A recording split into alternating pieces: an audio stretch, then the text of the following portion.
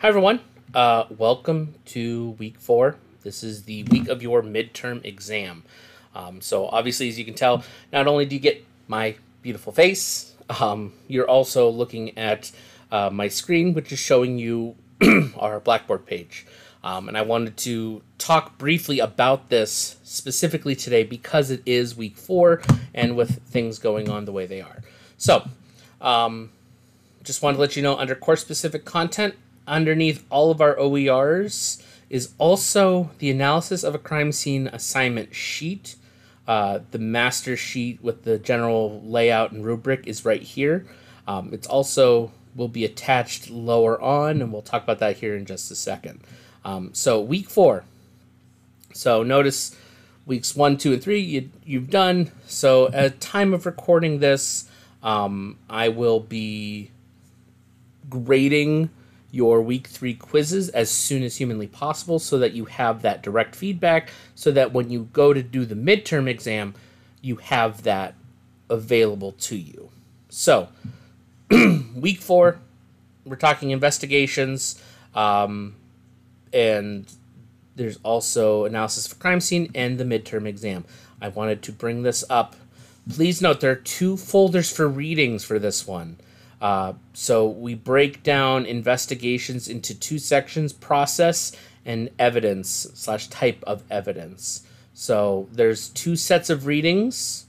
Um, they're all covered under the same investigations PowerPoint, which is your notes. I am actually I'm a little late recording the lecture video. I will be doing that after this, so it, that will be posted later today. Um, but additionally, here are additional investigation notes. These are things that I both took from the textbook and I wrote little notes for in regards to the actual lecture that I'm giving. I'm providing this to you so that you can also see what I'm talking about. So, uh, like I said, this is legitimately the whole thing that I typed up. So it has information. I'm going to be talking about this stuff, so you do at least have it available to you. Um, so you don't necessarily have to write down everything, but this way you do have it. As always, the PowerPoint is there. But what I really wanted to talk about with this video in particular are these two things. Number one, your midterm exam is due next week, Wednesday? Tuesday? Wednesday the 3rd of July, your midterm is due next week, Wednesday by 11:59 p.m. That should be your top priority. You should work on that first. Like I said, I will be grading quiz 3 today at time of recording this, which is Wednesday. I will be grading quiz 3 so that you can work on the midterm exam. That is the prime important piece. To note, I said it before. The lecture from this week, from week four, none of this content is on the midterm exam. Okay? The midterm exam is all stuff from the first three weeks. And so, like I said, I'm going to show you the midterm exam briefly. So here you go. There are 32 questions total. I broke it down into section true and false. So you have true and false questions. You have, excuse me, you have multiple choice. You have fill in the blanks. You have short answer. You have matching. You have an essay. And there are five options for your essay. Okay? Essay option one, two, three, four, and five. All right? And as always, there's a bonus. I'm telling you right now, your bonus, the usual Mr. Wheaton bonus points, the two bonus points for something you've learned from the first half of the class that's not on the exam, and another set of two points for something you learned that's not on the exam. That's four points there. There are six possible points where I'm asking you to discuss something from the quiz it, or from the exam itself that we didn't go super in depth on. Okay? Please, 32 questions doesn't seem like a lot, but there's a lot of content there. As I said, I didn't take, well, I did. I took all the questions asked on all of the quizzes. Every question that's on a quiz is used on the test. However, I might have changed words and changed answers to those questions. So you need to be careful. Just because you're like, oh, yeah, I remember this question was false, I might have changed it to a true statement. You can't just go on autopilot. You actually have to read. Okay? So that's the midterm exam. But the other thing that's this week, and this is due next Friday, is analysis of a crime scene. And so the analysis of a crime scene, 25 points. Um, I have the rubric and assignment sheet attached.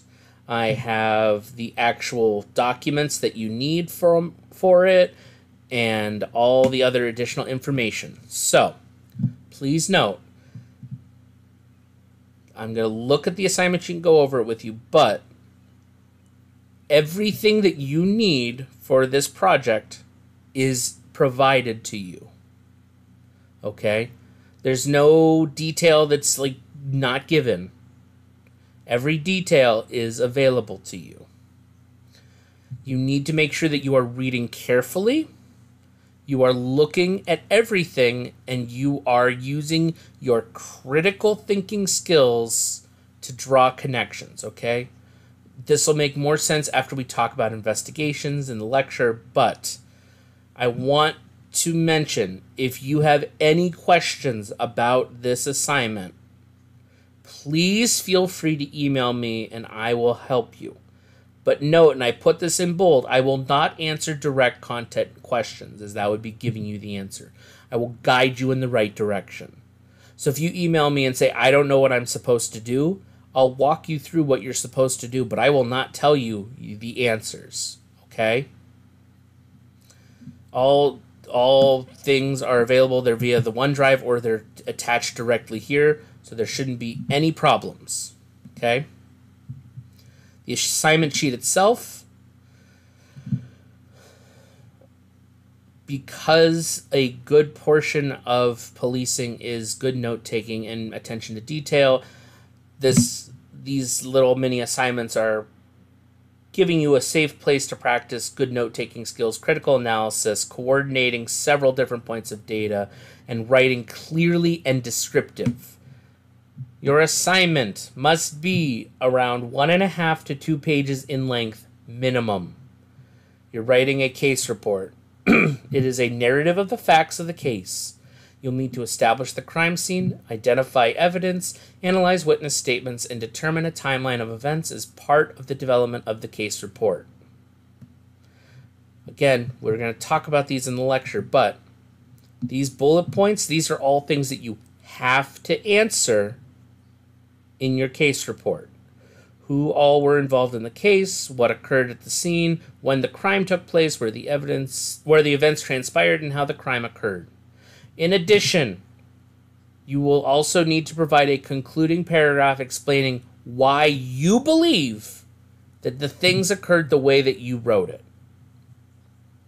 You need to be able to not just put all these things in order the who, what, when, where, and how, but I need you to tell me the why you believe that you're correct. Okay? All of the questions above must be specific and detailed in the report. Vague and incomplete answers will re- result in a loss of points. Like I said, every piece of information is provided to you. Okay? The assignment itself is worth 25 points. These cases have one correct answer. Students must work through the provided information to determine what that correct answer is. Grading rubric accuracy, length slash completion, detailed, and grammar and spelling. Grammar and spelling matter. They do matter, so you're going to have to make it fairly free from errors. Detailed. It can't just be a list of things, you have to be descriptive. If it makes the required lengths and you talk about all five W's and the one H, yeah, you're gonna you hit that completion and accuracy. You accurately pull the correct details. Hear me as I say that. You accurately pull the correct details. That means that there are some extra details that are not necessary. They are there to throw you off. They are intended to make you think, okay? Just giving you that heads up now. All right. Legitimately, that's it. That's it for this week. So, really, we're going to talk about investigations. You'll see me in that lecture. Well, you won't see me, but you'll hear me in that lecture video. We'll talk investigations. We'll talk about those specifics. And you'll want to take that information and use it for the analysis of a crime scene okay? But I want that to be your secondary focus. Your primary focus should be the midterm exam. Please dedicate your time to that first. Simply because none of what we talk about this week is on the exam. Okay? None of investigations other than what we talked about last week is on the exam. Okay? So do the exam first get that out of the way, and then work into investigations. I don't want you to try adding extra knowledge that you don't need for the exam just for the sake of having it. If you want, that's fine, but I'm telling you, best practice would be to go straight into the exam uh, when you feel confident. Like I said, I'm going to be grading your quiz three, so you might want to wait until you get feedback from quiz three to do it, uh, which would be ideally by the end of today, Wednesday, or tomorrow, Thursday. So uh, that's what I have to say. Thank you very much, and I will talk to you in the lecture video, and good luck on the midterm exam. Take your time. It is not timed, but take your time.